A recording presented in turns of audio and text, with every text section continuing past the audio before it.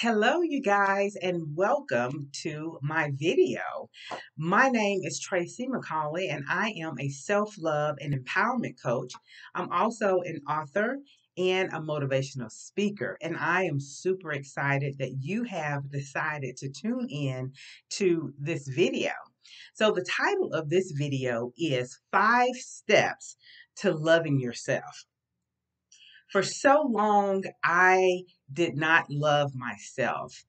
And it took me a lot of years to get to the place where I can truly say that I am proud of the woman that I see in the mirror, embracing every part of the woman that I see in the mirror has been it's been a challenge for me for several years but I am super, super excited that I am at the place where, excuse me, where I can truly say that I love me.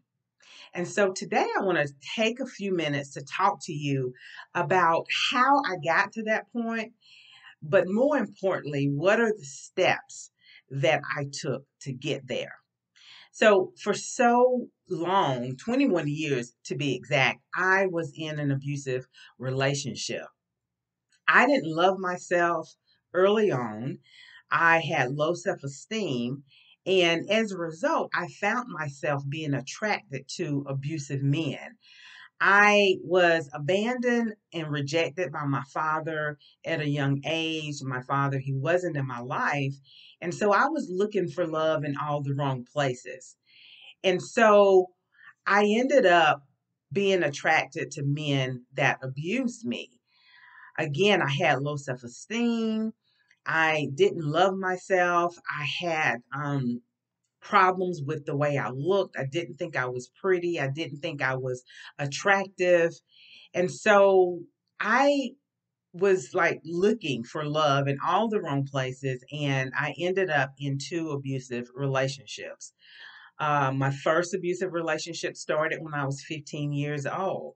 I experienced physical and emotional abuse, psychological abuse. And so whenever I made the decision to get out of that abusive relationship, it um it was it was deadly almost because the abuser and I didn't know this till he had walked out of the the house that I was in that he had a gun and I believe he intended to hurt me. So I was able to safely get out of that abusive relationship. It took me several months before the abuser stopped harassing me. I had to get law enforcement involved, but eventually he stopped harassing me. And because I didn't love myself, I didn't understand my worth and my value, I got into another abusive relationship and I experienced a lot of the same things. I experienced um, the physical, the psychological, and even the financial abuse. I, again, I was searching for love. I was looking for someone to validate me. And I found my validation in men that were abusive. And so, whenever I finally realized that I was not happy and that was not the life that I wanted to live. I had a daughter out of my first abusive relationship and I desired more for from my for my daughter. I wanted more. I wanted her to experience uh, a healthy environment. I wanted her to see a healthy, loving relationship because I wanted her to understand that being in a healthy relationship was important. And so I made a decision to um, finally walk away from the abusive relationship. It took me years, it took me 14 years to walk away from the second abusive relationship.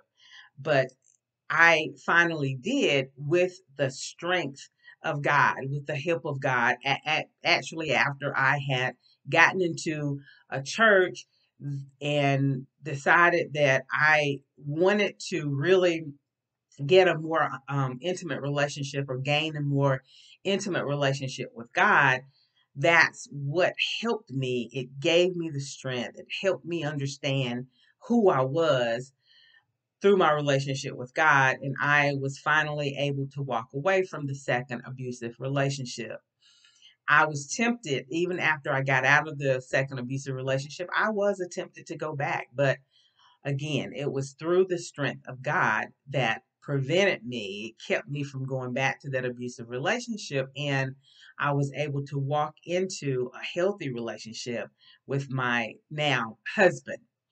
And so it took me some years um, after I was in the healthy relationship. It took me years to get to a place where I understood that I needed to put in work. I needed to do some work on myself because, again, I had been in this abusive relationship for a course of 21 years. And being in relationships like that, you know, they cause you to have a lot of low self esteem. You know, it's a traumatic experience that I had, and I was emotionally wounded by the relationships. And I had to get to a place where I was able to work on myself. I was extremely happy, yes, that I was in a healthy relationship with my husband, but I had to put in some work on myself so that I could get to a place where I could truly love myself and be loved, truly loved by my husband, which he loved me, but I had to put in some work so I could love myself. And so that's exactly what I did. So, one of the things we're talking about five steps to loving yourself. One of the things that I did, the first thing that I did was acknowledgement. I had to acknowledge that I was wounded. I was emotionally wounded and I needed to work on myself. And how I did that was starting I, started to develop a more intimate like relationship with god you know i talked earlier about you know i went to church and that's where i realized i needed to do some work on myself and so i started reading you know my bible uh, reading reading positive things that i knew that would help boost my spirit help me really understand that i was wonderfully made fearfully and wonderfully made um, I started surrounding myself with positive people, had some people in my church, positive in, influences within my church and outside my church. And so I really, really started to to just um, be more aware, more aware of the needs that I had. And that was really what I did. I started to work on myself. And then the other thing, number two, which really goes along with that self awareness, um, that acknowledgement. I started to understand who I was and whose I was. I started to understand that I was fearfully and wonderfully made, like the Bible tells me. I started to understand that I was a child of God, that I was chosen by God, that I was uniquely created, that there was nothing wrong with me because the other problems that I had, uh, I had the low self esteem. I mentioned that earlier, but I also I had problems with my body image. I didn't love myself. I didn't think that I was pretty. I didn't think that I was lovable. And so I had to really understand that I there was nothing wrong with me. That I was, you know, I was created in the image of God and that every part of me was valuable that I was valuable.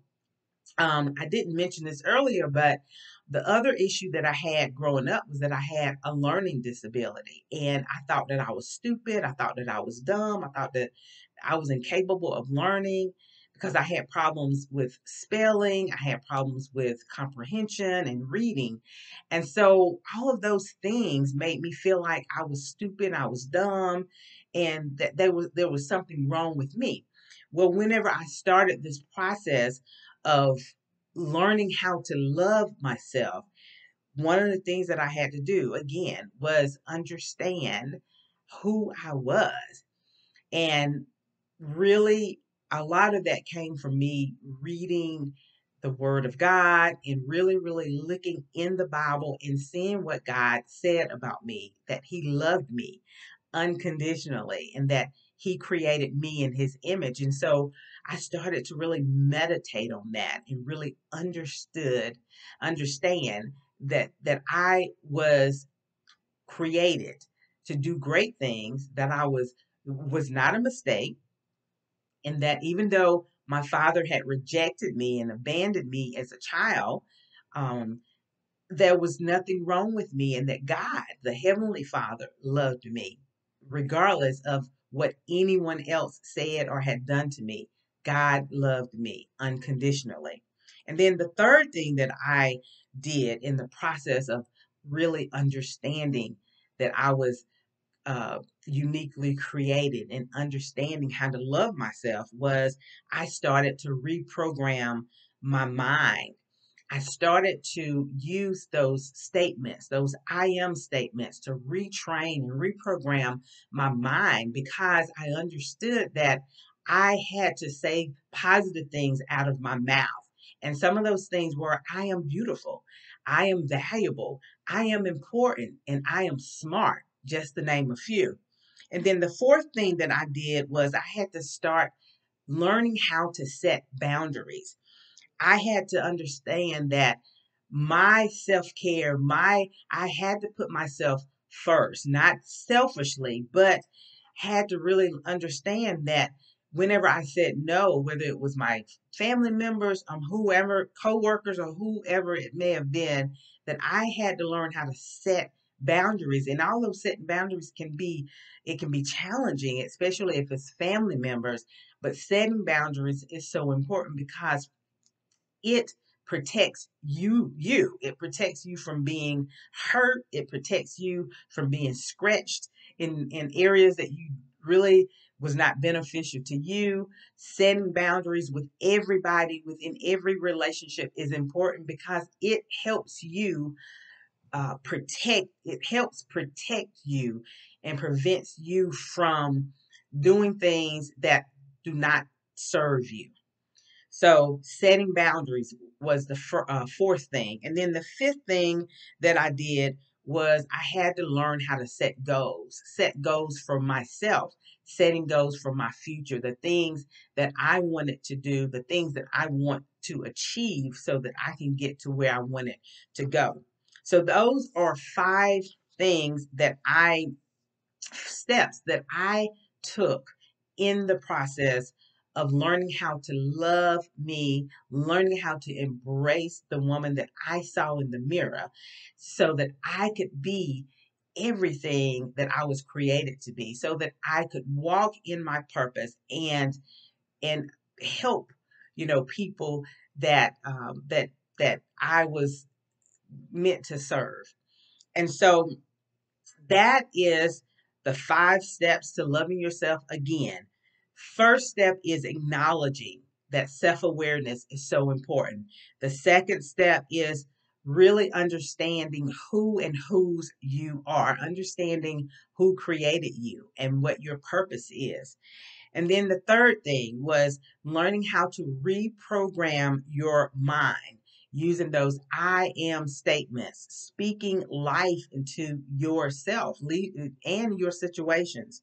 And then the fourth thing was learning how to set boundaries, really learning how to say no when you need to say no. And then the fifth thing was learning how to set goals for yourself so that you can move in the, the forward forward predict uh, forward I can't talk um, movement so that you can be everything that you need to be. So, five steps to, to loving yourself. Thank you so much for tuning in. I hope this was helpful for you. You go and be great, and I will see you the next time. Thank you so much. Bye bye.